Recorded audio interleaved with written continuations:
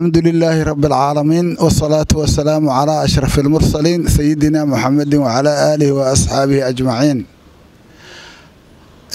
runtii maanta axsaabta siyaasadeed oo halkan isugu timiday waxay tahay axsaabtii ugu tirada badneed oo muddooyinkan isu timiday runtii waxaana markaasi tiradooda hadda ay gaarsiisan tahay lixdan iyo shan xisbi. Intaana waxaa waaye intii mataqaanaa loogu talagalay inay shirka jaraa'id qabato ugu horeyntii marka waxaan leeyahay axsaabta siyaasadeed assalaamu calaykum waraxmatullaahi wabarakaatuh.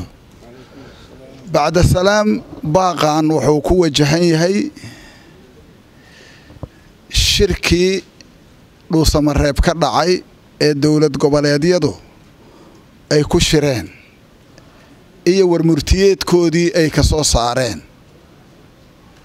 Kuma ekee haddana wuxuu la hadlayaa dhammaan shacabka soomaaliyeed meel kasta oo ay joogaan.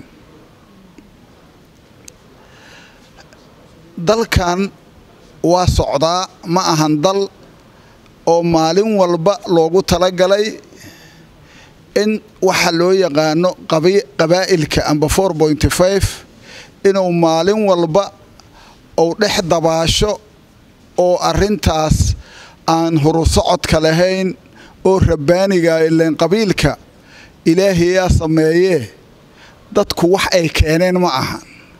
Marka qabiil ayaan wax ku qaybsaynaa waa midda ugu ilbaxnimada yar oo adduunka ka jirta meelay ka socotana ma leh sidaa darteed marka waxaan dadka soomaaliyeed u sheegaynaa gaar ahaan dowlad goboleedyada inaynan laba kun lix iyo toban aynan ahayn maanta oo ay tahay laba kun iyo labaatan oy labaatan labaatan taha geedi socodka soomaaliya wuxuu ku soo jiray in mar walba soomaaliya ay masiirkeeda ka taliso oo dadka soomaaliyeed ay ownershipkooda ay gartaan oy codeeyaan oo ay markaas hoggaankooda doortaan.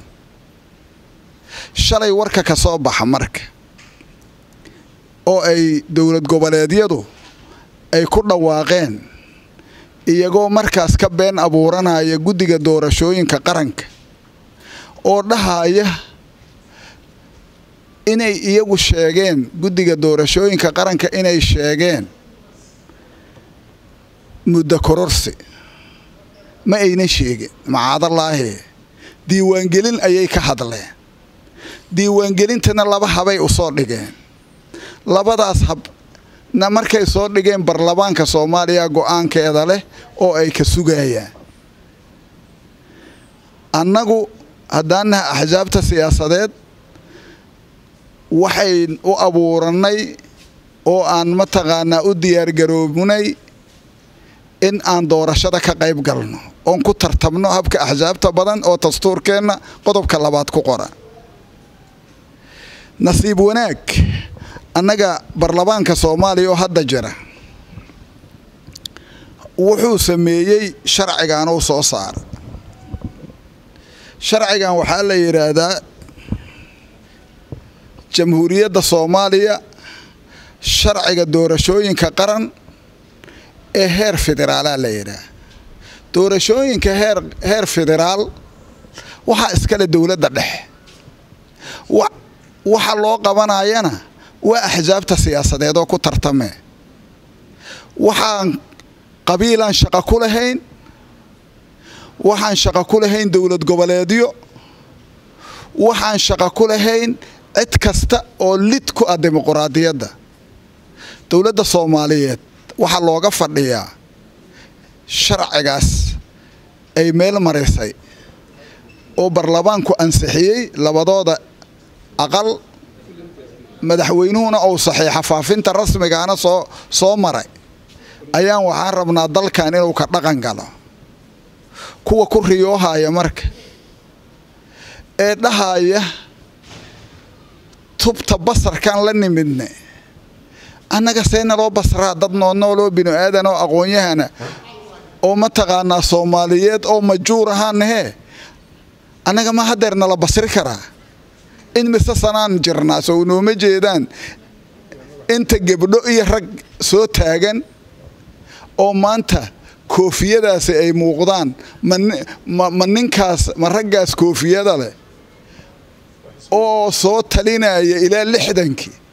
Ayaa maanta la ajari karaa oo la siri karaa oo la basri karaa.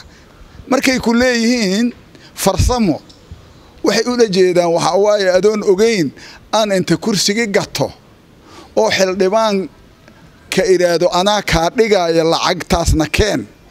Aan kadib mataqaanaa aan waxaan rabaa adoo iska fadhiya inaan anigu aan dantayda khaaska ah aan danta guud ka hormariyo annaguna aan u fafadhino shacabka soomaaliyeed taas waa ka soo daali mana aqbalayo meel kastoo uu joogo. Waxaan marka ugu baaqaynaa marka sharciga doorashooyinka lix iyo tobankii ma jirin. Boobaa la baray iyo biyo xumbale waanuu bukaanaa la yidhi. Waxay u heestaan inay wakhtigii madasha xasan sheekh uu sameeyhaye oo barlamaanka la ignoor garayhaye ayay waxay u qabaan in sidii oo kale loo qaraabo karay haddana hawsha sidii loo fusho karo ido waddamo shisheeye. Ay mataqaanaa in misaa ku baxaysa doorashada aan madaxweynaha soo saarane? Ayay ayaa laga macaamilaa taas waxaan rabnaa marka baasweydkaas annaga oo la wada yaqaano nambar sireedka annagu mar horean iska waa bedelnay sharcigaanaa bedela shacabka soomaaliyeed hirki gada kara. Haddii ay dowlado kale inta shacabka soomaaliyeed lacag siiyaan ay gada karaan markaasaa la arkaa. Maxaa yeelay shacabka soomaaliyeed oo xoolaaleyda iyo beereyda iyo kalluumaysatada ayaa waxaa la rabaa inay inta codeeyaan ay naqato arrintaasi ownarshiibkoodii soo ceshadaan hoggaankooda doortaan ay gabadha soomaaliyeed alalaastaa la rabaa. Maxaa yeelay hadday wax doorato amba iida la doorto waxay fahmee inay dalka iska leedahay. Maalin walba ma dalkaa marti laga naqaa? Qof kastoo soomaaliya maa inuu qofki uu rabyo uu soo saara maa loo diidaa taasi waa habeenkii xala tegey yay ku riyoonin yay dembi isku gelin yay iyagu inta shuruucdu mataqaanaa qabato hadhow yay iyagu shallaayin oo yay mataqaanaa birito taariikh xumo dalkan yay iyaga ka qabanen.